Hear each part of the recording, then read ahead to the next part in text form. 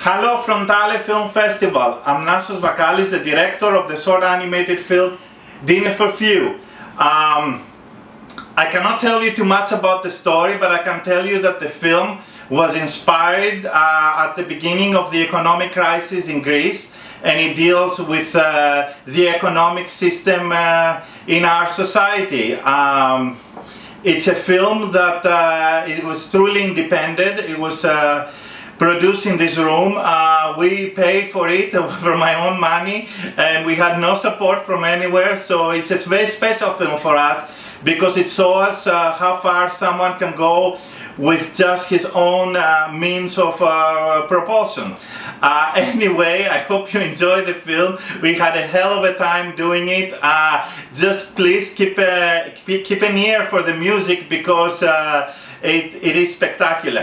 Thank you so much and I hope you enjoy the film. Bye bye.